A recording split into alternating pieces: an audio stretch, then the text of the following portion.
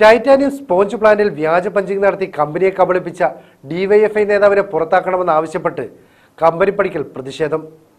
Titanium complex employees Congress I N T U സിയുടെ നേതൃത്വത്തിലായിരുന്നു പ്രതിഷേധം സംഘടിപ്പിച്ചത്.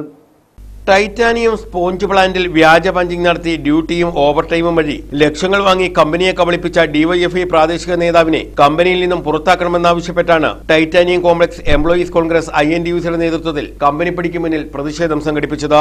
D C C general secretary Kolath Venugopal പ്രതിഷേധം ഉദ്ഘാടനം ചെയ്തു. ഒരു തൊഴിലാളി സുഹൃത്ത് ഏതെങ്കിലും ഒരു താൽക്കാലിക ജീവനക്കാരനെ കൊണ്ട് തന്റെ കാർഡ് പഞ്ച് ചെയ്യിക്കുക.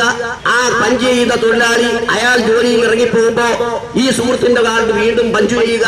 അത് മാത്രമാണോ?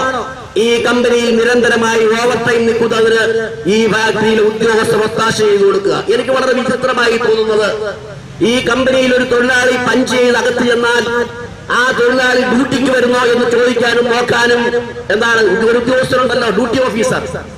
അദ്ദേഹം ഇതൊന്നും കഴിഞ്ഞ മൂന്നാൽ മാസമായി കാണുന്നില്ലേ? ഈ ഡ്യൂട്ടി ഓഫീസർ ഇവിടെ പഞ്ച് ചെയ്ത ഒരു തൊഴിലാളി ജോലിക്ക് വന്നിട്ടുണ്ടോ? അദ്ദേഹത്തിന് അഞ്ചു മണി കഴിഞ്ഞ ഏതാണ്ട് രണ്ടും മൂന്നും നാലും മണിക്കൂർ ഓവർ ടൈം നിൽക്കുന്നതിന് പേപ്പർ ഒപ്പിട്ട് കൊടുക്കുമ്പോൾ ഇങ്ങനെ ഒരാൾ ഈ കമ്പനിയിലുണ്ടോ എന്ന് പരിശോധിക്കാനുള്ള സാമാന്യ മര്യാദയെങ്കിലും ഡ്യൂട്ടി ഓഫീസർമാർ കാണിക്കണ്ടേ? Union vice president Y Najeem അധ്യക്ഷത വഹിച്ചു. D C C general secretary Santhosh Thuppassery മുഖ്യപ്രഭാഷണം നടത്തി.